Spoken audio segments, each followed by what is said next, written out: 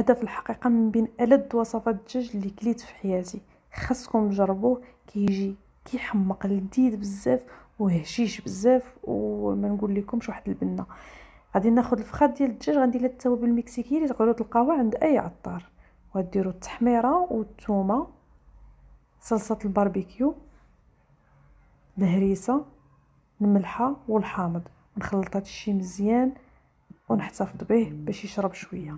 كناخذ الفلفلة الحلوه والحارة بجوج بهم الصينية ديال الفران غندير فيها ورق الطهي ونستف الفخيضات وندير حداهم الفليفلة.